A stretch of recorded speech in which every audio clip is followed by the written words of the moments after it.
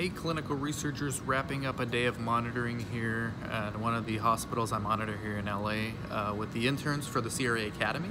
I'm very excited about that. I got a question this week from a viewer who's asking me to explain a little bit about washout period in clinical research. So every protocol is different, but some protocols require patients to come off of their current medications before they are put on the study drug.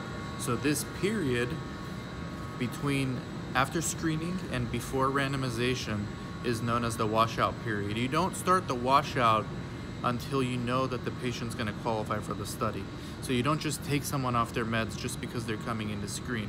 You do the screening visit first, inform consent, you go through all the IE criteria and everything else. Then if it looks like the patient's going to qualify, you start the washout period.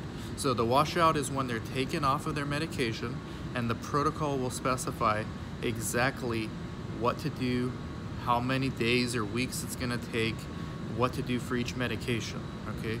So that's a washout period.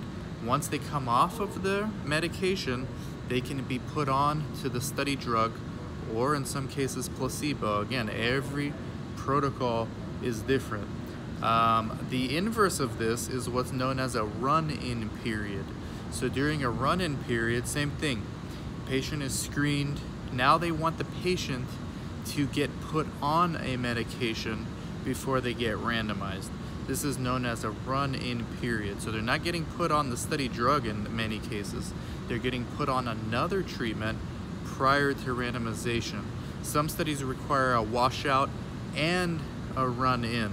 So these are terms you're gonna have to be very familiar with if you wanna do coordinating, monitoring, or just anything else in clinical research. These are not the norm, but they are not uncommon in clinical research. So washout and run in.